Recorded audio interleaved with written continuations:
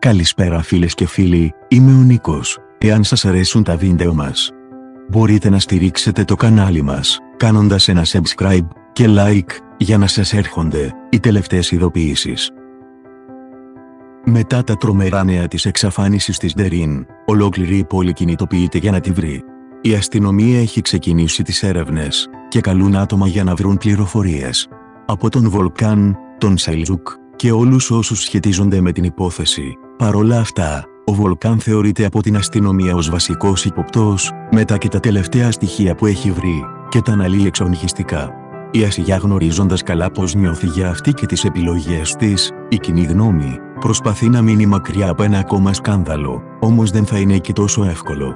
Η Μπαχάρ μέσω του Μελίχ προσπαθεί να μάθει όσες περισσότερες πληροφορίες μπορεί, λέγοντας στην Ασιγιά ότι μάλλον ο Βολκάν θα χρειαστεί έναν καλό δικηγόρο, γιατί βρέθηκαν ενοχοποιητικά στοιχεία. Ο Βολκάν καλείται από την αστυνομία να δώσει εξηγήσεις για όλα όσα βρέθηκαν στο αυτοκίνητο του και όχι μόνο, με τον ίδιο να αρνείται τα πάντα, δείχνοντα του και τα σχετικά βίντεο. Επίσης, ένα στοιχείο που τον καίει πραγματικά είναι ένα μήνυμα που βρέθηκε στο κινητό, ενώ στο λευκόμα έχουν βρεθεί στοιχεία που κάνουν την θέση του πολύ δύσκολη. Στο μεταξύ, Γιονούλ με τον Χαλούκ, φανερά καταβεβλημένοι, περιμένουν με ανυπομονησία τα αποτελέσματα των ερευνών. Η Μπονούλη σε μια έντονη συζήτηση με τον Βολκάν, του αναφέρει μέσα σε όλα, ότι έχει καταστρέψει τη ζωή της οικογένειάς της. Με την Τερίνα ακόμη αφαντή, η Ασιγιά βρίσκει τον εαυτό της σε όλο και πιο δύσκολη θέση.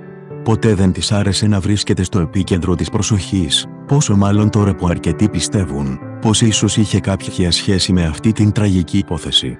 Ένας άγνωστος αφήνει στην πόρτα του σπιτιού της ένα κουτί, με το δαχτυλίδι της πεθεράς της, το οποίο φορούσε πρώτη αυτή, και κατόπιν ο Βολκάν το είχε δώσει να το φοράει Δερίν, με την Ασιγιά φανερά θορυβημένη.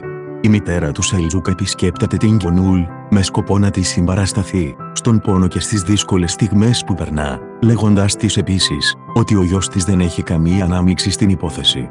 Ο Βολκάν θέλει απεγνωσμένα να βρει την Ντερίν, και ταυτόχρονα να αποκαταστήσει το όνομα της Ασιγιά. Έτσι αποφασίζει να ακολουθήσει τις δικές του μεθόδους, ενώ ένας μάρτυρας κλειδί, καταθέτει στοιχεία φωτιά, που θα φέρουν σε δύσκολη θέση και την Ασιγιά και τον Βολκάν. Τελικά οι έρευνες της αστυνομίας βρίσκουν το πτώμα μιας γυναίκας, περιμένοντας να την αναγνωρίσουν. Η Ασιγιά κάνει ό,τι μπορεί για να βοηθήσει να βρεθεί η Ντρίν. Σύντομα όμως αρχίζουν να βγαίνουν στο φως, διάφορα μυστικά και κρυμμένες αλήθειες για τη ζωή της Δερίν και του Βολκάν. Μήπως τελικά σε αυτή την πόλη και σε αυτή την οικογένεια, τίποτα δεν είναι αυτό που φαίνεται; Φίλες και φίλοι, τα λέμε στο επόμενο βίντεο.